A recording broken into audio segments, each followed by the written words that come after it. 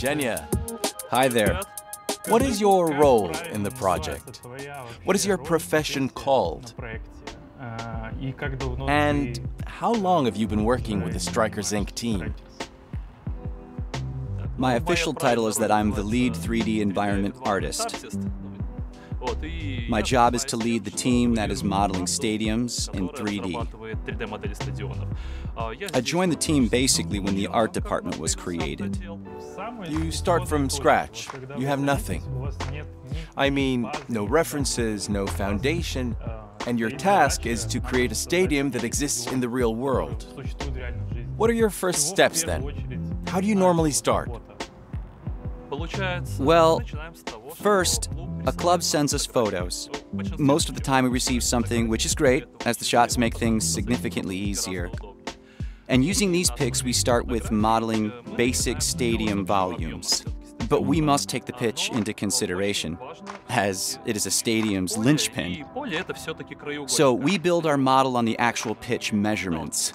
We examine real-world stadium geometry, because every stadium has its touchline, its pitch dimensions. We can't ignore it. Everything in parallel to make the result seamless.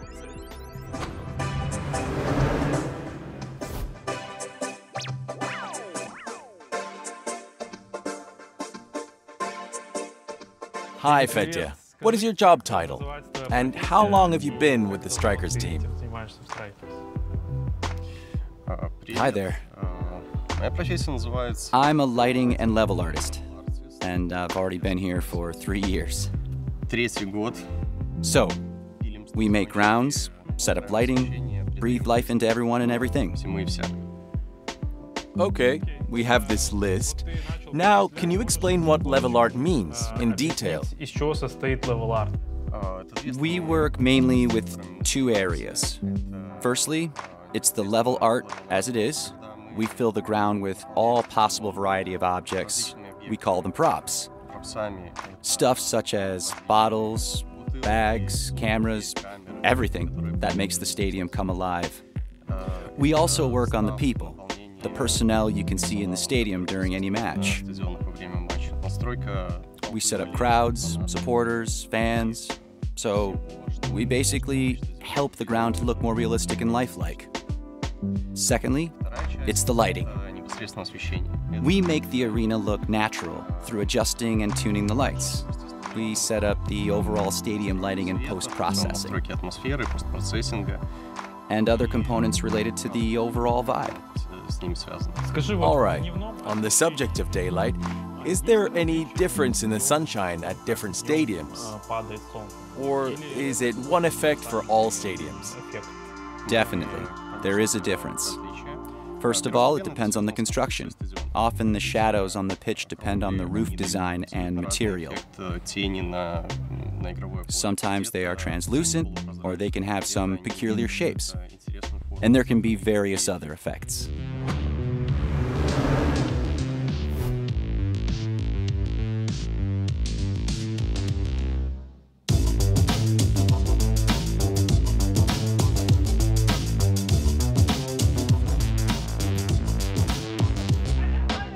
I begin with the introduction to the camera. What should I do then? Just smile and look there. Are we on? On air? We are here with Zhenya Rivkovsky, and we came to support the Strikers football team, playing in the amateur league. Hey, camera, show them the guys playing so they can see it's for real. So, tell us please, what do you do at Strikerz, and how long have you done that for? There's nothing we didn't do at Strikerz. I've been with the team quite a while. Soon I'll begin my fourth year. Okay, actually, there's a lot that we do. Let's start with our most recent tasks. We design the tunnels the players go through to enter the pitch from scratch. You know those archways they use? We have our own that are versatile and unique. We spent two weeks understanding what we need all those sketches, drafts, so on. And there's also a ball stand where referees collect the ball before the game. I mean, we designed it ourselves. We didn't borrow it, it's not a generic whatever thing. We put a lot of effort into it. In our team, there's an architect, I'm an industrial designer, and some other guys as well. We really worked ourselves out. If someone hits pause during the cutscene, they will be really impressed. What about other elements you already finished? Is there a short list of things you work with within the project? Well, I don't think there's a short list, but I'll try. Those are all the little stuff you won't notice in the game. Unfortunately, you have to hit pause during cutscenes. Any examples? All the fans in the stadium to begin with. We dress them, starting with hats, snapbacks, then there's bomber jackets, trousers, everything, down to the shoelaces. And of course, all banners and flags in the stadiums. There are around 18 forms, all unique. We don't paint them out like, unlike our competitors. Okay, if I, if I, is it okay if I say that? Sure. Well, our competitors did it in a simple way. But we decided to stand out, really. I don't know why. Just go in and win this race. Hence, there's a lot of unique stuff if you look close enough. And among others, we work on people. Besides the fans, there are maintenance staff, security guys, and managers and coaches, of course. They are closer to the touchline. More security, photographers, your colleagues, cameramen. And also, there will be police, fire marshals, and first aid personnel. What is the most difficult part of modeling the stadium for your team? Well, one of the hardest things of all is to find the balance between creating a realistic and well constructed building and us creating a video game. So the grounds should become a piece of artwork after all and they should be visually attractive and fit in nicely into the game. That is, if we take London Stadium as an example. It is very detailed. There's a lot of construction structures. It has a sophisticated roof. There's also another thing to consider. When we work on historic iconic grounds, these are stadiums with a visible imprint of time. Their materials are tricky. Say the concrete there can be damp, cracked or crumbling at some places. Structures have already seen decades. And we need to convey this atmosphere. It's quite difficult. The older the stadium is, the more tiny details it has. Let's get back to the personnel, since you're working on people as well. Please, if you can, tell us what your standard pipeline looks like. So you receive some 3D models from the equipment department, and you somehow distribute those models over the stadium, right? Right, that's what we do. Speaking of licensed grounds, we carefully analyze the footage made during the matches on each stadium. Our goal is to find out where exactly you can find personnel on match days. Then we combine those with our vision. If we couldn't find something in the references, we add our own input. How many security guards, first responders, and others, and where? We merge the real data and our estimations to map personnel and set up the scene.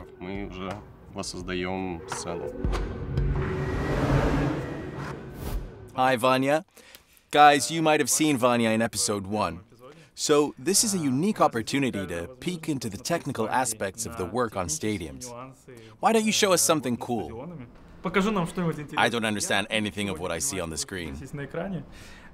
Actually, it is very interesting. A really fabulous generation trick. We definitely generate the supporters' faces automatically. Because you can't map them around manually, you know? Here are tons of them, thousands of them maybe. That's where our tech artists created a great tool called CrowdMesh. Here are some kind of panels, and you can see some tiny dots called vertices. We place these dots around the stadium. And judging the position of each vertex, generate a chair for a fan to sit on. Here are those chairs. So first, there are chairs. And then by a special data set, we generate a crowd of supporters. We place personnel by hand, so here goes some police. We have a kind of drag and drop. But there is some variability. When we move them, they change their appearances. Naturally, you can change it by hand, but we've added this variability to avoid adding similar sets of people. So the people here are randomly different. Let's get back to fans. We map them during generation using the same vertices, the same crowd mesh, but we divide them by groups. Here are home fans, those are visitors, and here's some VIP. And this way, they appear quite randomly, depending on a stadium and sectors we need to fill.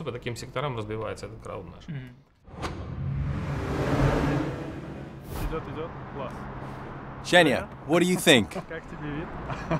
Shocked. This will be hard work for me today. Perfect. Yeah, I like it too.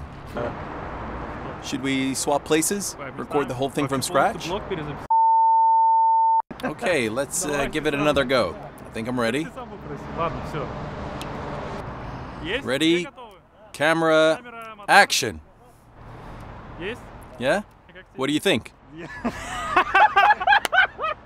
no, really, it's amazing. I didn't expect we would be able to film here. I absolutely love it. Okay, so, ready? Camera, Zhenya. Could you please tell us about some of the subtle yet difficult challenges of your job? Those things behind the scenes. Something that ordinary people like myself and our viewers, and even players, aren't aware of when they see your job.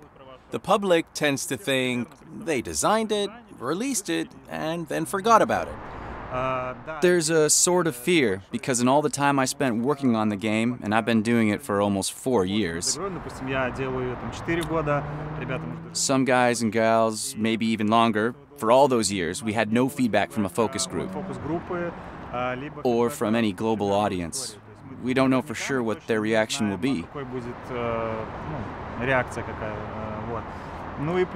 And also, we're afraid people won't notice some of the subtle details because there are tons of them, and we'd love them to be noticed. Those are the concerns. Of all the licensed stadiums you built, which is the one you liked the best? Could you speak of its design, the working process, or the final result? Do you have a favorite stadium, or do you love them all the same? As they say, all stadiums are equal, but some are more equal than others. At the end of the day, London Stadium is one that's loved. It's a masterpiece in terms of architecture. The shape is beautiful, it's designed brilliantly, and the atmosphere for everyone inside is great as well. It's the one we're probably proud of most. One of the first stadiums. It was introduced with the game itself. It's the first ground we showed when UFL was announced to the public. Right now, London Stadium is the one I love the most. I've been told you worked it out very thoroughly. It is detailed right down to the VIP seats, right? Yeah, indeed it is. It was one of those days. We were so heavily into this. We created everything, including the laces on the banners around the grounds. You know, those laces they use to tie the banners to metal poles. So, there's something to see if you look at the stadium close up. Cool. Of all the stadiums you've been working on, can you point out to us some of the special nuances? I mean, in terms of level art, for example. We always try to reproduce the unique features of a stadium in our level art. We spot those specific things while watching the videos or examining other references. For example, at a Vodafone, there's a lot of security guards. And we try to reproduce and bring them into action. At other stadiums, we are often helped by our environment department. There can be these one of a kind props available only in those arenas. For example, at London Stadium, there are machines blowing soap bubbles all over the stadium. We added them too. At BayArena, we added uh, um, a referee picket. It's a unique element of the stadium. You know, there's no other ground with a thing like this, as far as I know.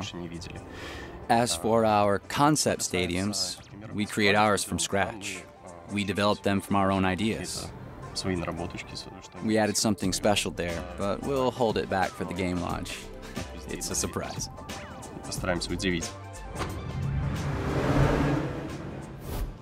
This looks like some metal plates. It's a grid. Okay, a grid. Don't worry, it's fine. Okay, light. You also do lighting. I'd love to have a look because it's something very dear to me as a person from video production. I can tell you about lighting more technically or in layman's terms. Perhaps you prefer the former? I probably won't get it, but please go ahead. And please stop me if I'm blabbing some of our secrets. Okay, so let's talk about lighting. For the main direction and main positioning of the floodlights and highlights, we used references to the stadiums, of course. But there are many different technical difficulties to overcome because we should have been directing the lights from those lamps. But because of hardware limitations of consoles and many other technical aspects such as memory capacity, this wasn't really possible. So some things, for example in night stadiums, the lights are fake. For these cases, we needed an inventive artistic approach. We have to emulate things. Mm. If I reveal how the night lights work, it might make you sick, since it looks more or less like this without it. All the lights up in the stands have been faked to the extent that it looks very close to what happens. So what we have here is a dramatic convention like a film set. And they look so realistic, so cool, that hopefully nobody would even think to wonder if it's fake.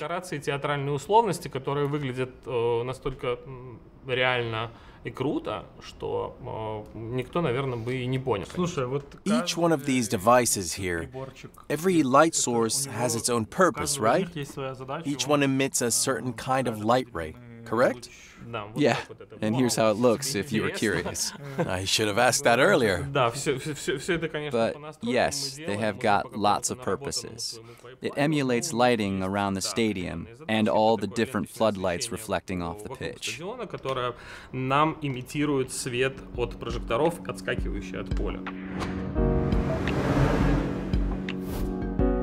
Is there anything in your work an ordinary person won't be able to notice by themselves?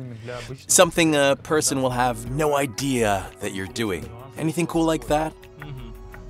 As for details that aren't obvious to a game player, so consider a visitor of a real life stadium. Stadiums are full of things you're not really aware of. For instance, the lighting systems are unique the location of VIP seats, those areas where special guests sit, etc. You have to study a ground from many different angles to understand how many features there are. For instance, how they locate floodlight projectors or how a stadium is divided into zones. Let's uh, stop for a moment. Send me a photo of this. Why did they switch it off? These days, I often read in the soccer news and see those headlines. You know, some famous club is planning to move their home ground or want to build a new one. And I thought, would it be possible, at least in a football simulation game, for us to keep their history with their old, legendary grounds? I like the idea of using nostalgia we are creating in our stadiums the look that matches what they were before they were refurbished, including those stadiums which literally do not exist anymore. I hope it won't remain just a dream. At some point, we'll actually do this.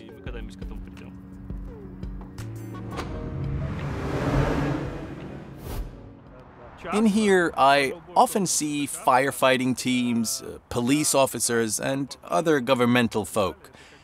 Those government entities are probably difficult to refer to in any video game. Every country has its own uniform. Oh, yes. And what is your solution? At first, we thought to go big in style. We created lots of firefighters and police officers matching their individual region or country. In the US, they wear uniforms depending on the state. In Europe, everyone was different. So I made police officers say from the Netherlands or from France, but with a twist. Of course, I never copied their uniform. We had our own take on them. It's like originally we created lots of different sets, but then we realized the engine was going to blow up, so now we have just one. Currently, we have just one cop, but we dress them in the highest of police fashion. Modern, cool, trendy. I can tell you more about the police if you're up for it. In our department, we make jokes that after the football project is finished, we can immediately switch to a police and firefighters versus zombie game. We had tons of iterations of cops and firefighters. At first, all of them were really skinny. We made them more sturdy, changed their clothes. Then we created this 3D stuff from scratch. And a year later, when we realized that it wasn't working, we reworked it again. If you put them together, you can do another game with fans as zombies because we've got lots of crowds too. So if anything, we have an alternate project, just in case that'll be our emergency exit. And we took time with the ball boy. Boy, we laughed at the first sketches. So we drew him from scratch. And instead of a youth, we got a young elder a 13 years old guy with wrinkles, and he was dressed like a beggar. There's always lots of fun when we create models. Yeah, this has been great. That's it. Yep. Let's go. Stop. Cut.